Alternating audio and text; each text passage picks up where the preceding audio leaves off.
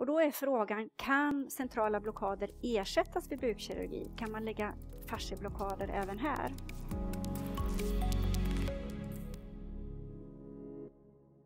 Eh, jag tänkte prata om, lite om TAP, som ni säkert har hört talas om, även om quadratus lumborum block och rektorspine block. Tapp TAP var ju en av de första eh, fascieblockaderna som eh, vi hörde talas om på buken. Eh, 2001 började man lägga den eh, mer eh, allvarligt, eller oftare i alla fall. Och utvecklingen har gått framåt även där. Man har nu sett att den här blockaden då ger inte någon speciell visceral smärtlindring utan det är ju en bukväxtblockad. Och för att anestesera hela buken så behöver man då lägga flera injektioner. Även här, beroende på vart jag håller proben på buken, så förändras den här blockaden. Så om du lägger en tapp och håller proben så eller om jag lägger en tapp och lägger den så, så bedövar vi inte samma område. Då. Och det är viktigt att lära sig anatomin kring fascieplanen. Eh, man bedövar alltså eh, genom att titta med ultraljud och se de här tre bukmusklerna. Obliquus externus, internus och transversus abdominis. Och tanken är då att man ska spruta lokalbedövningsmedel då mellan internus och transversus abdominis. Och här ser ni en annan bild då. Och lite beroende på hur proben hålls så, så bedövar man olika områden.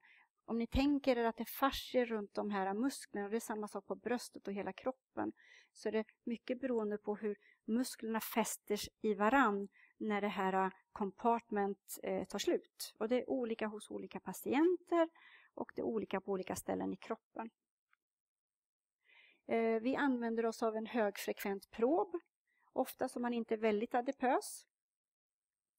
Eh, man håller prober någonstans så här över krista.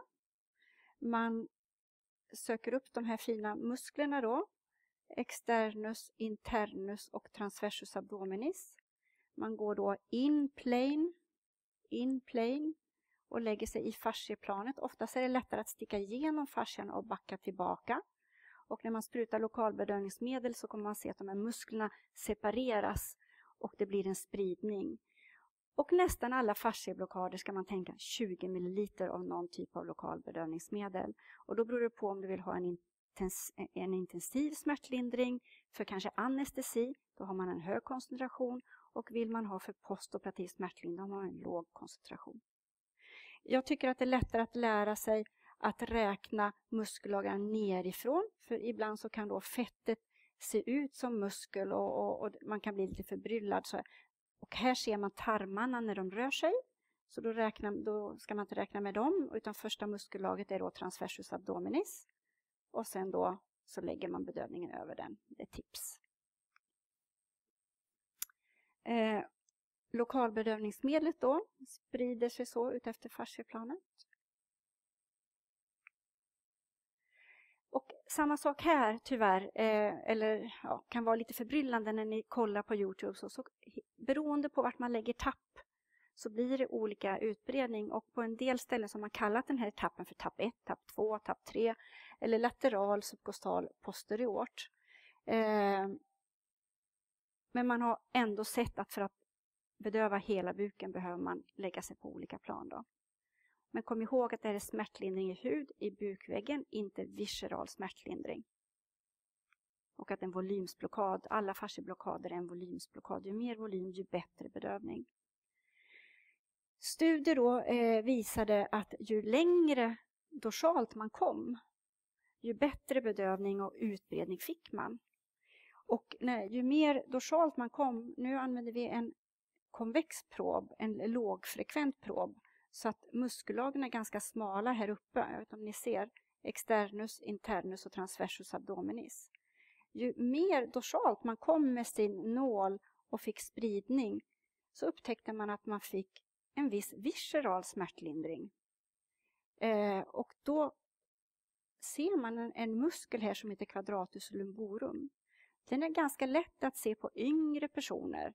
ju äldre man blir, ju svårare är det att se den.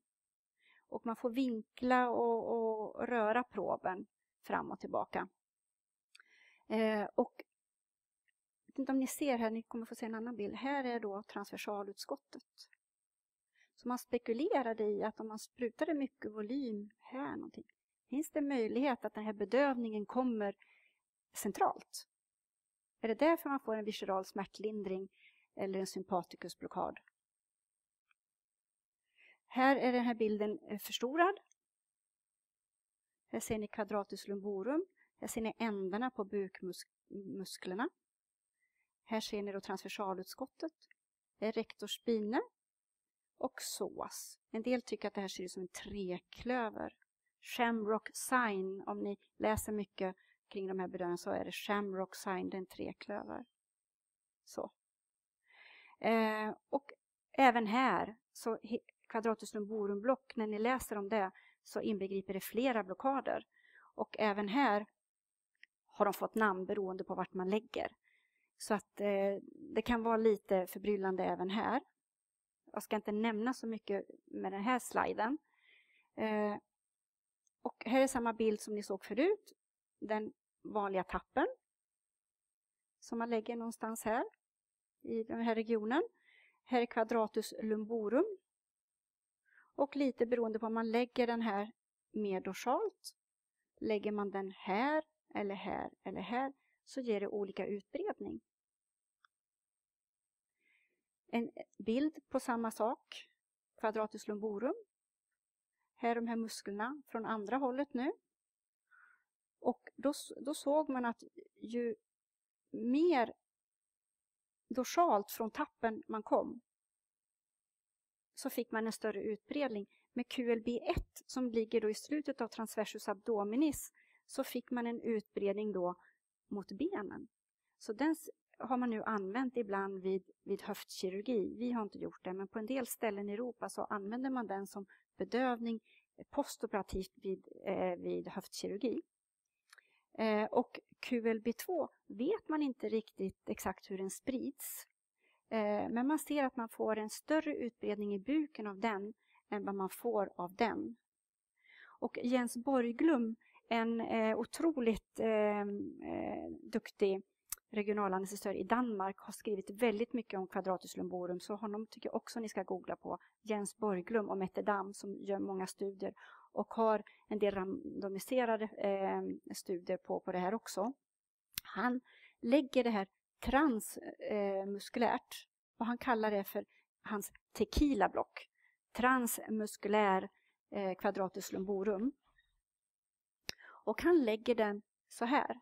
Alltså att man tänker sig som tappen, man ser quadratus lumborum och så sticker man då igenom eh, quadratus lumborum eh, och lägger sig då mellan psoas och quadratus lumborum. Här ska man då vara noga med sin bild och tänka på att man inte ska lägga sig här, för här ligger njuren, så man får vara försiktig där. Och hamnar man för mycket här så får man motorisk blockad i benen. Man lägger sig för mycket här. Så man ska lägga sig så nära kotpelaren helst, eller mitt emellan. Hamnar man inne i psoas, då får man också en motorisk blockad. Då bedövar man ju lumbala plexa och det är inte meningen.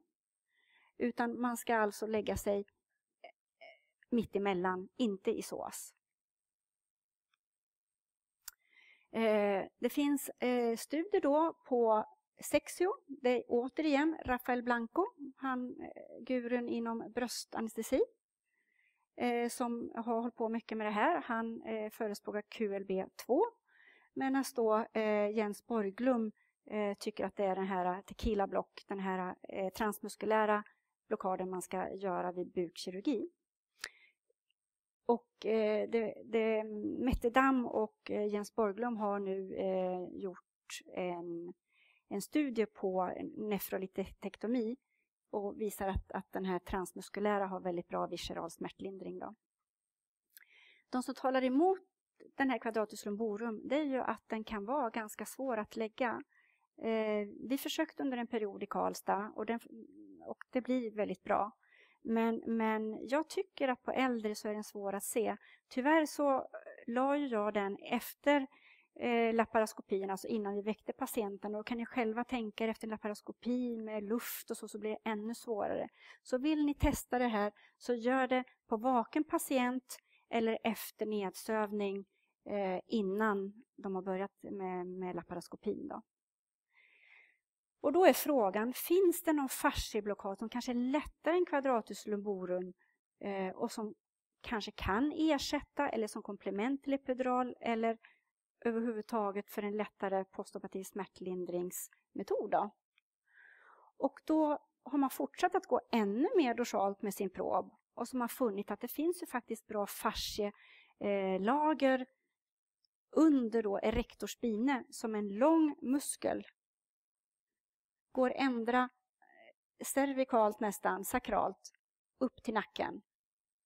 Eh, och så tänker man sig, men jag under den då borde jag få spridning jättehögt upp. Och jag är ju nära kotpelaren som vi sa och nära då eh, väldigt centralt. Kan jag få spridning paravertebralt även på den här som vi trodde att vi fick då med kvadratus lumborum. Eh, och då tittar vi på samma bild som vi tittade eh, tidigare i, med, i samband med paravertebralblockaden. Då. Här är paravertebralutrymmet. Det här muskeln här, musklerna på båda sidor, det är ju erector spine. Och om man då ser så är det ju faktiskt väldigt nära, så sprutar mitt bedövningsmedel här så kan det ju kanske hända då att det kommer i närheten av paravertebralutrymmet. Så det pågår många studier nu, eh, för man tycker att man har massor med case reports som talar för att det här är en väldigt bra bedövning. Eh, så det pågår studier och alla de här fascieblockaderna, tyvärr så finns det inte så många randomiserade studier för de här har ju kommits på nu på de sista åren. Eh, men flera case report talar för det här. Då. Och eh, en del av de case-reporten vid laparoskopisk bukkirurgi, vid neuropatisk torakal smärta, även vid bröstkirurgi eh, och andra torakala ingrepp. Fördelen med den här är att den är enkel ultraljudsblockad. Det, jag tror att det här är den enklaste som, som jag har provat egentligen. Det är lätt att se musklerna eh, även om den här bilden blev lite suddig här så är det väldigt enkelt. Man har patienten på sidan eh, och det fick man ju ha även med kvadratus lumborum om ni kommer ihåg när vi tittade på bilderna där. Eh, man håller proben longitudinellt, man ser musklerna och den muskeln som ligger närmast transversalutskottet. För då får man även här som på paravertebral med ultraljud utgår från mittlinjen, se spinalutskott, transversalutskott så. Ligger man torakalt så får man titta på att man inte ligger på revben. Det behöver man inte titta på om man gör det lumbalt. Då har man ju bara transversalutskottet att gå på. Och så sprutar man då lokalbedövningsmedel i det här fascieplanet. Eh, fördelen då med, med rektorspine är att man faktiskt med ultraljud kan följa väldigt enkelt vilken spridning man fått med sin volym. Och ju mer volym, ju högre spridning. Då. Och igen, ju högre koncentration, ju högre intensitet på, på bedövningen får man. Då. Så vilka indikationer har vi för rektorspine eller quadratus lumborum? Ja, det kanske är på de patienterna då, eftersom vi inte har så mycket randomiserade studier än, hur mycket kan vi lita på de här bedövningarna? Men absolut så tycker jag att ni ska tänka på att på de patienterna där det är väldigt svårt att sticka eller där epiduralen har misslyckats eller som postoperativ smärtlindring som en rescue block. Eh, tänk fascieblockad. Det finns alternativ till de här centrala blockaderna. Eller på barn eh, som ni tycker, men tänk hade det här varit en vuxen så hade jag faktiskt bedövat det här barnet med en epidural, men det vågar jag inte på det här barnet. Då är de här fascieblockaderna utmärkt alternativ. Eller på patienter som kanske har någon psykisk sjukdom som inte kan vara vaken när du lägger din din centrala blockad.